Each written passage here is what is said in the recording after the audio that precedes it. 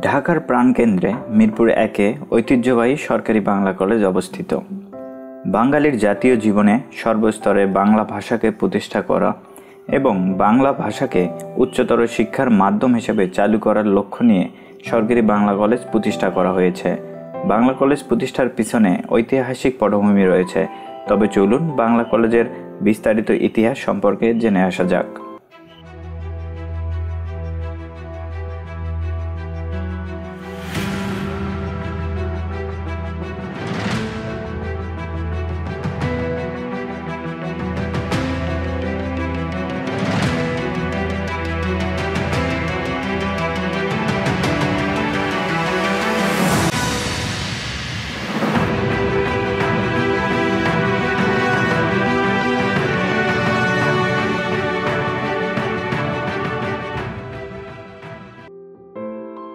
বাংলাকে শিক্ষার মাধ্যম ও অফিস আদালতের ভাষা হিসাবে চালু করার জন্য উনিশশো একষট্টি সালে একটি কলেজ গঠনের পরিকল্পনা করা হয়।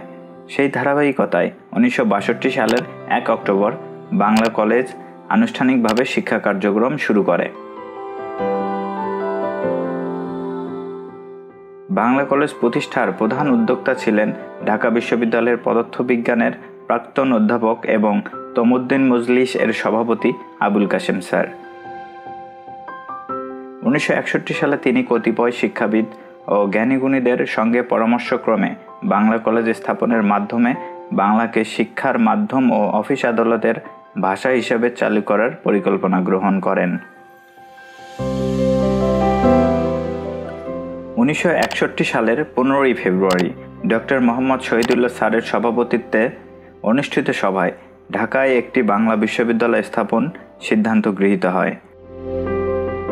সেই ধারাবাহিকতায় উনিশশো একষট্টি সালের জুলাই থেকে বাংলা কলেজের কার্যক্রম শুরু করার সিদ্ধান্ত গৃহীত হয়। উনিশশো বাষট্টি তেষট্টি শিক্ষাবর্ষে একাদশ শ্রেণীতে কলা, বিজ্ঞান এবং বিএ প্রথম বর্ষে শিক্ষার্থী ভর্তি করা হয়। উনিশশো তেষট্টি সালে খোলা হয় একাদশ শ্রেণীতে বিজ্ঞান বিভাগ। মাত্র তিরিশ জন শিক্ষার্থীকে নিয়ে যাত্রা শুরু করলেও উনিশশো চৌষট্টি সালের মধ্যে কলেজের ছাত্র সংখ্যা বেড়ে দাঁড়ায় সাড়ে চার শত। শুরুর দিকে কলেজের শিক্ষকগণ অনেকেই বিনা বেতনে এবং কেউ কেউ নামমাত্র বেতনে অধ্যাপনা করেছেন।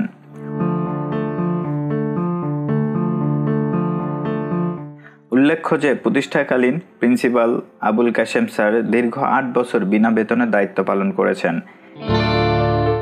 এছাড়া তার নিজ বাসভবন বাংলা কলেজের অফিস কার্যক্রম চালানোর জন্য ব্যবহার করা হয়েছিল।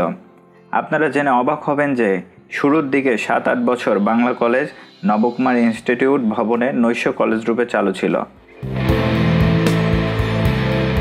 পরবর্তীতে উনিশশো চৌষট্টি সালে বর্তমান ক্যাম্পাস অর্থাৎ মিরপুরে স্থানান্তরিত হয়। প্রতিষ্ঠাকালীন শুরুতে শিক্ষিত বাঙালি বিদ্যান ব্যক্তিদের কেউ কেউ বিরোধিতায় নেমেছিলেন। তাদের যুক্তি ছিল, বাংলা মাধ্যমে লেখাপড়া করলে ছাত্রছাত্রীরা চাকরির ক্ষেত্রে পিছিয়ে পড়বে। এমনকি বাংলা মৌলবী জন্ম হবে বলেও ব্যঙ্গ বিদ্রুপ করতেন। কিন্তু তা সত্ত্বেও বাংলা মাধ্যমে শিক্ষা গ্রহণ দ্রুতই জনপ্রিয়তা লাভ করে। অনেকেই হয়তো জানেন না, বাংলা কলেজ শব্দটিতে অনিশ্ব বর্ণ না ব্যবহার করে বর্ণ কেন ব্যবহার করা হয়েছে? তৎকালীন সময়ে বাংলা ভাষায় পাঠদানের লক্ষ্যে বাংলা কলেজ প্রতিষ্ঠা করা হয়েছে। ওম একটি স্বাধীন বর্ণ এবং অনিশ্চয় একটি অন্যের অধীনে থাকা বর্ণ।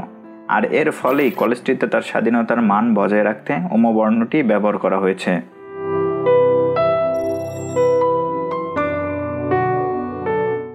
উনিশশো একাত্তর সালের মুক্তিযুদ্ধের সময় পাকিস্তানি হানাদার বাহিনী ও তাদের দোসর অবাঙ্গালি বাহিনীরা বাংলা কলেজ দখল করে নেয়। দীর্ঘ নয় মাস অবরুদ্ধ ছিল এই কলেজটি। বাংলা কলেজে সাইনবোর্ড নামিয়ে এ সময় উর্দু কলেজ সাইনবোর্ড লাগানো হয়।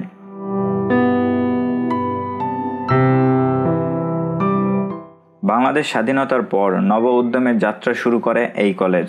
এর ধারাবাহিকতায় উনিশশো পঁচাশি সালে কলেজটি সরকারিকরণ করা হয়। উনিশশো সাতানব্বই সাল থেকে জাতীয় বিশ্ববিদ্যালয়ের অধিভুক্ত করে কলেজটিতে স্নাতক ও স্নাতকোত্তর পর্যায়ে শিক্ষা কার্যক্রম শুরু করা হয় এবং সর্বশেষ ষোলোই ফেব্রুয়ারি দুই হাজার সতেরো সাল থেকে কলেজটির স্নাতক ও স্নাতকোত্তর পর্যায়ের শিক্ষা ঢাকা বিশ্ববিদ্যালয়ের অধিভুক্ত করা হয়। পঁচিশ একরের এই ক্যাম্পাসে আঠারোটি বিভাগ চালু রয়েছে, যেখানে তিরিশ হাজারের বেশি শিক্ষার্থীকে পাঠদান করা হচ্ছে। পর্যন্ত বাংলা কলেজে দশটি বদ্ধভূমি চিহ্নিত করা হয়েছে। কলেজ প্রশাসনের উদ্যোগে তিনটি বদ্ধভূমিতে স্মৃতিস্তম্ভ নির্মাণ করা হয়েছে। সরকারি বাংলা কলেজের আবাসিক চারটি হলসমূহের মধ্যে একটি নির্মাণাধীন এবং দুইটি প্রস্তাবিত হল রয়েছে। প্রিন্সিপাল আবুল কাশেম ছাত্রাবাস, শেখ কামাল ছাত্রাবাস নির্মাণাধীন এবং দুটি প্রস্তাবিত হল হচ্ছে বঙ্গবন্ধু শেখ মুজিবুর রহমান ছাত্রাবাস এবং শেখ ফজিলাতুন নেসা মুজিব ছাত্রীনিবাস।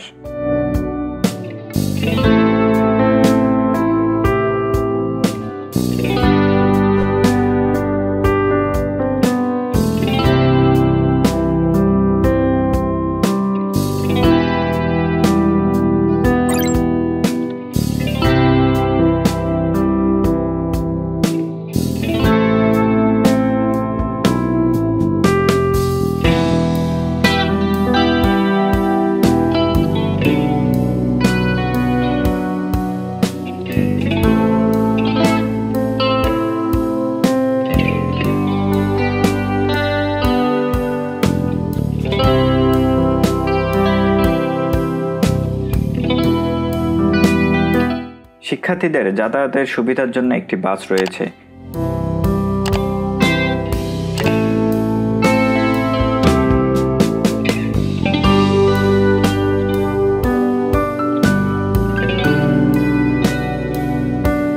সাংস্কৃতিক অনুষ্ঠানের জন্য রয়েছে সুবিশাল অডিটোরিয়াম এবং শিক্ষার্থীদের জন্য রয়েছে অত্যাধুনিক লাইব্রেরি।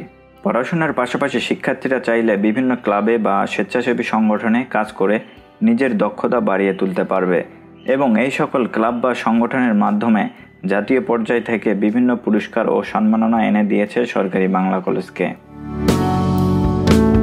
এছাড়া প্রায় প্রতিটি জেলার ছাত্র কল্যাণ সংগঠন রয়েছে।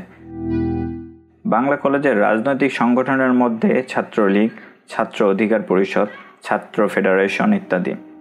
সামাজিক ও সাংস্কৃতিক গঠনের মধ্যে রয়েছে বাংলা কলেজ সাংবাদিক সমিতি ডিবেটিং সোসাইটি যুব থিয়েটার চলচ্চিত্র ও আলোকচিত্র সংসদ, এছাড়া স্বেচ্ছায় রক্তদাতাদের সংগঠন বাঁধন ইউথ গ্রাসিয়াস হিউম্যান বিজ্ঞান club red crescent rover scout ইংরেজি ভাষা ক্লাব, একাত্তর চেতনা ইত্যাদি। ঢাকা বিশ্ববিদ্যালয়ে অধিভুক্ত হওয়ার পর থেকেই প্রতিষ্ঠানটিতে শিক্ষার মান ত্বরান্বিত হচ্ছে।